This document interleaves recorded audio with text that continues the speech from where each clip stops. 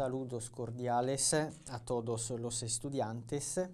En este segundo encuentro presentaré las lecciones que Wittgenstein dictó a algunos de sus estudiantes en Cambridge sobre el tema de la estética.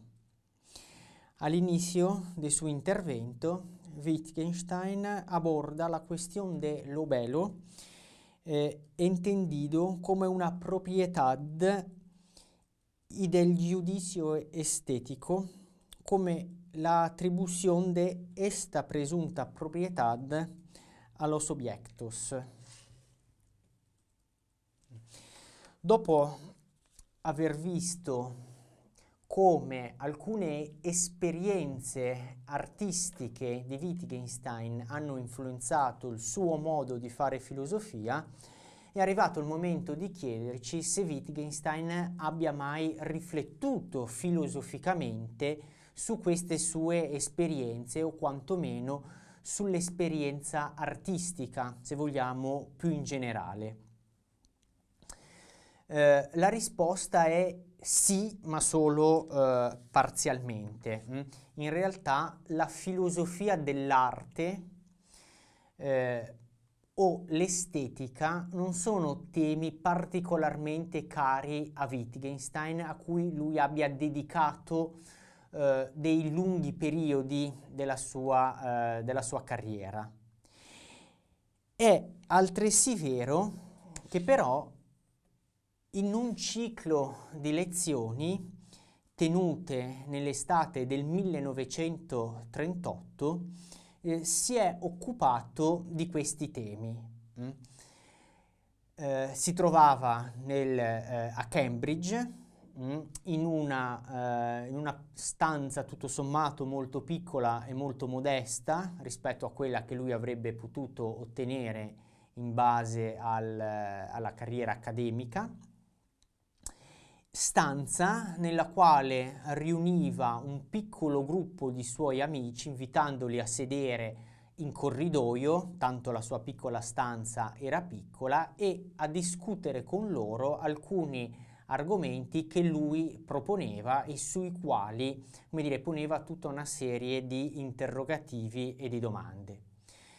Wittgenstein tiene queste lezioni non nelle aule universitarie, ma appunto in maniera quasi privata, eh, in questo luogo, se vogliamo, un po' angusto, come si vede nell'immagine presente nella slide tratta da un film che è stato girato proprio per raccontare eh, la vita di Wittgenstein e che rappresenta questo momento della sua eh, vita proprio in, in, questa maniera, con questa lavagna che in realtà eh, non c'era, ma circondato da questi amici seduti effettivamente su, sedie, eh, su seggiole a sdraio. Mm.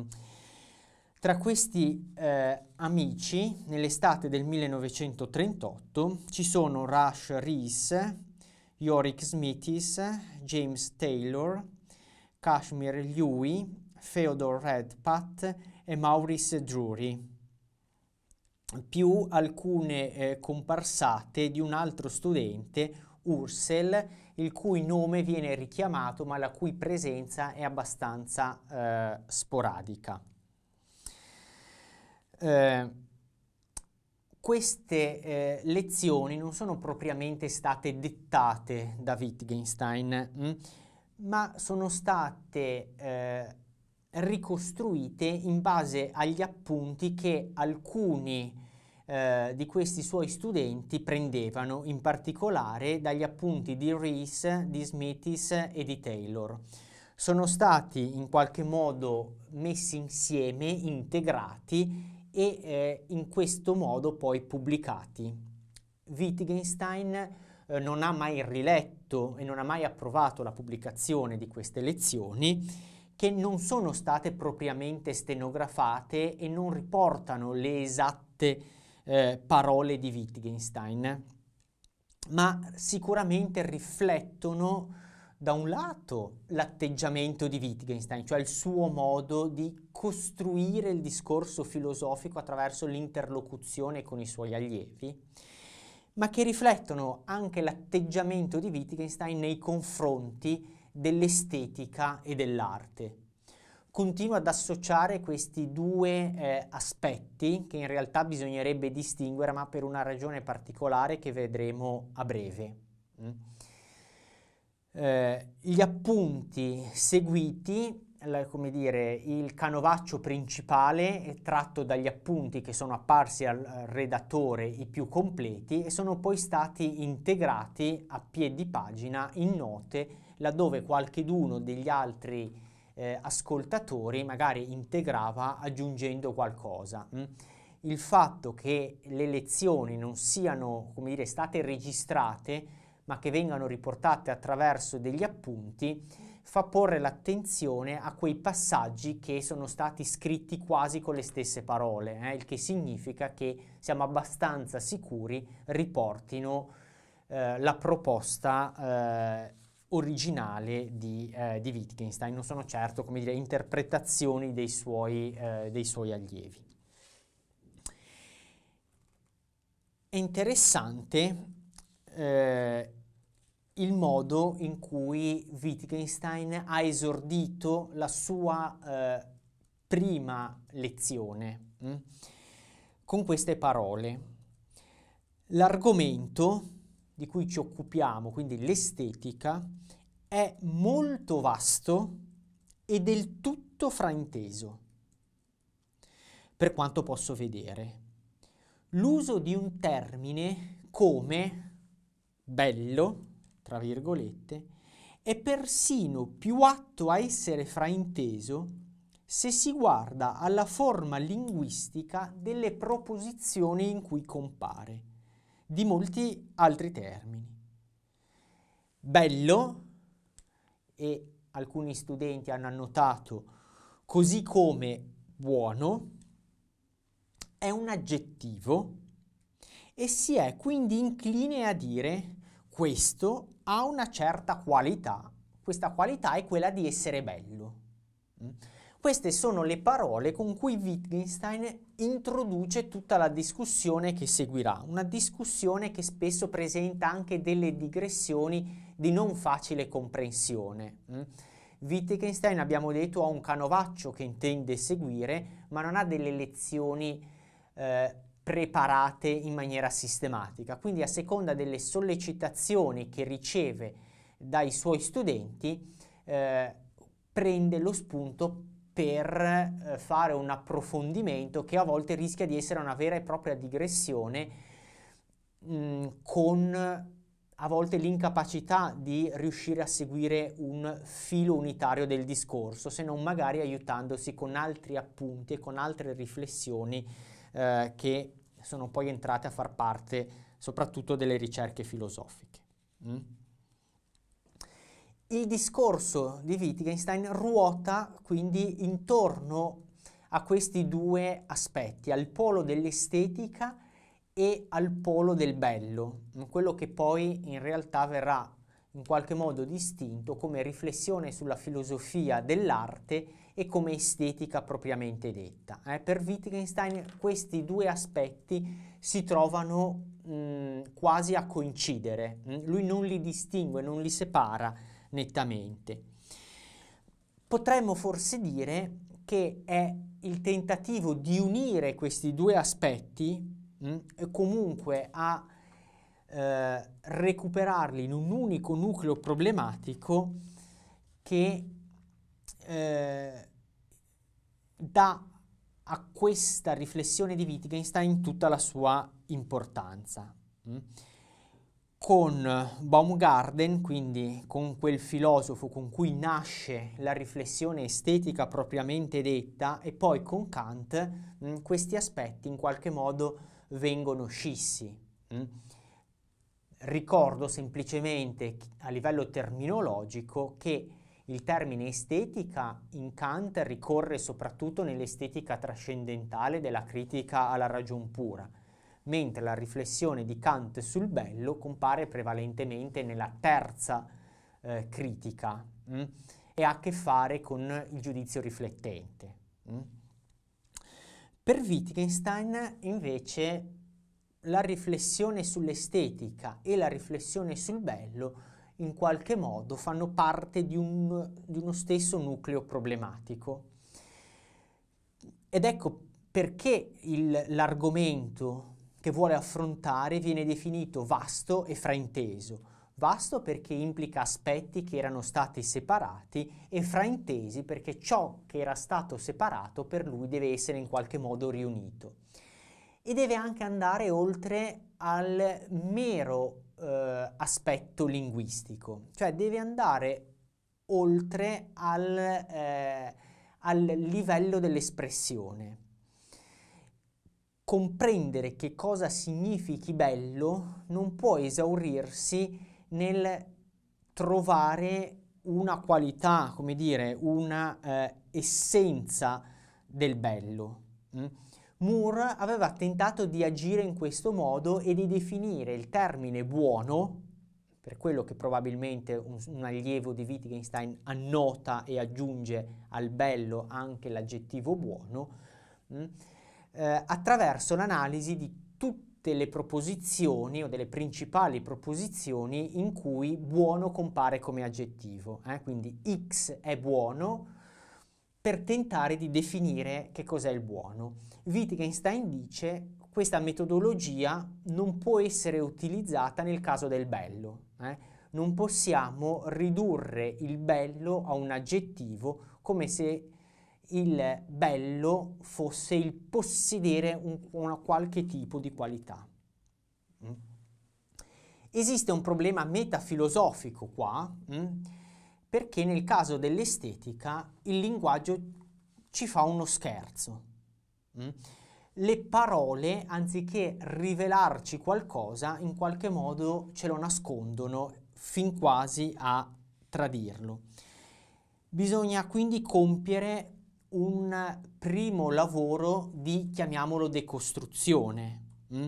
Il bello, se lo usiamo come aggettivo e lo consideriamo solo come aggettivo, sarebbe un qualche cosa che definisce un'essenza. In realtà però non tutti gli aggettivi indicano una qualità e identificano appunto un'essenza. Mm? Possiamo usare gli aggettivi diversi che hanno funzioni diverse. Essere verde ha una funzione diversa, l'aggettivo verde ha una funzione diversa da quella che ha per esempio l'aggettivo alto dicendo che qualcosa è alto. Eh? Nel caso del, dell'aggettivo alto c'è una comparazione che invece non c'è nel caso del, dell'aggettivo verde e potremmo continuare con tutta una serie di esempi per cui non tutti gli aggettivi hanno la stessa funzione, ma è l'uso di un particolare aggettivo che ce ne dà in qualche modo il significato. Ne avevamo prima detto che il linguaggio è l'uso, viene compreso attraverso l'uso che se ne fa, caratteristica la metafora di Wittgenstein del linguaggio come cassetta degli attrezzi. Eh? Ci sono tanti usi degli aggettivi. Qual è l'uso dell'aggettivo bello? Mm. A questa parte di decostruzione bisogna poi mh, mm, affiancare una parte più costruttiva. Da qua l'invito di Wittgenstein a riflettere su come noi impariamo a usare l'aggettivo bello. Mm? Nasce, ci dice Wittgenstein, questo aggettivo come una sorta di interiezione, mm? come un qualche cosa che ci viene eh, insegnato. Bisogna quindi partire non dalla parola bello in quanto tale, ma dalle occasioni e dalle attività che si sono svolte quando si è usato questa parola, questo aggettivo, o meglio, quando altre persone ci hanno suggerito di utilizzarla. Mm? Un po' come quando abbiamo imparato a usare l'aggettivo buono che ci veniva suggerito quando venivamo, venivamo imboccati con determinati cibi. Mm? Quindi bisogna sottolineare quelle situazioni, bisogna andare a cercare quali sono quelle situazioni in cui l'espressione estetica ha la propria importanza. Mm? Il linguaggio estetico quindi non è soltanto qualcosa che apprezza un certo tipo di oggetto? Mm? non sta al, il giudizio di bello non sta al posto del termine questa cosa mi è piaciuta, mm? Ma piuttosto il linguaggio estetico è un qualche cosa che caratterizza le, eh, un oggetto. Mm? Come se si dicesse ho potuto apprezzare questo manufatto, questo qualcosa, perché è stato eseguito bene. Mm? Il linguaggio estetico come un linguaggio che caratterizza qualcosa in questa seconda accezione ci porta lontano da una espressione emotiva e ci avvicina all'importanza della tradizione e del contesto culturale. Mm? È un canone che ci dice se un qualche cosa è stato realizzato bene oppure no. Mm? È il confronto con una tradizione, con un canone, con un intero contesto culturale. Ed ecco che ritorna qua eh, l'importanza di riflettere non tanto in primo luogo sull'aggettivo bello, quanto sulla eh, correttezza che noi riconosciamo durante un'esecuzione musicale o durante la lettura ad alta voce di una poesia, ma anche, ed è l'esempio sul quale Wittgenstein insiste di più, il termine correttezza utilizzato all'interno di eh, di una sartoria. Mm? Uh, la richiesta a un sarto di farmi un abito bello ha poco senso se questa bellezza, se la bellezza dell'abito che io voglio non si connette al canone sartoriale di quel momento. Eh? Per cui il sarto attinge da una tradizione ben precisa e cerca di cucire al suo cliente un abito su misura per lui. Esiste dunque una scarsa importanza degli aggettivi estetici mh, mm, quanto un apprezzamento del linguaggio estetico soprattutto come approvazione. Mm. Che cosa vuol dire che l'abito che ho richiesto al mio sarto è un abito bello? Eh, non significa nulla di astratto, ma significa che io questo abito lo indosserò pre- eh, spesso, molte volte, in occasioni particolari, che eh, gradirò ricevere un giudizio quando indosso quell'abito e chiederò l'approvazione di altre persone. Mm? Questo è ciò che Wittgenstein intende con giudizio estetico. Per cui il giudizio estetico non è semplicemente, non è tanto il riconoscere una proprietà più o meno eterea a un ente, mm, dicendo che è bello, quanto un giudizio estetico consiste nel seguire una regola, quindi nel padroneggiare una tecnica. Non è esprimere un'emozione, non è, e questo di Wittgenstein lo dice chiaramente, rimanere a bocca aperta, ma è piuttosto un'attenta valutazione. Mm? Eh, una valutazione che non è mai possibile circoscrivere in tutti i suoi dettagli, perché i fattori in gioco, il contesto che dobbiamo tenere presente è troppo vasto per poter essere padroneggiato in toto. Mm? ma è una valutazione che riesce comunque a esprimere un giudizio di correttezza. Mm? Questa correttezza viene ribadita, oltre che con l'esempio del sarto, con l'esempio della lettura a voce alta di una eh, poesia. Mm? Siamo in grado di capire a livello sonoro se una poesia è stata letta in maniera corretta o meno magari dobbiamo leggerla più e più volte, dobbiamo sentirla, dobbiamo ascoltarla da una persona che la recita in maniera eh, propria e lì ne, riusciamo a coglierne la correttezza. Mm? E lì la correttezza diventa bellezza. Mm? Il giudizio estetico dunque è un gesto che accompagna un'attività molto articolata e non si limita semplicemente ad indicarne una proprietà. L'estetica, dunque, è il sapere che cosa si deve fare, che cosa fa una persona quando se ne intende, diciamo così, eh, per esempio quando entra in un museo. Mm? Il giudizio estetico non è ciò che ci dice la guida durante la visita a un museo, non è propriamente neppure ciò che ci dice un critico d'arte, ma è il sapere che cosa fa una persona che se ne intende quando questa persona entra dentro a un museo. Un giudizio estetico va sostituito quindi da una postura più generale nei confronti della realtà. Mm? Eh, l'esprimere, il cogliere l'aspetto estetico significa nominare la realtà, descrivere la realtà in un certo modo, eh? in un modo estetico. Eh?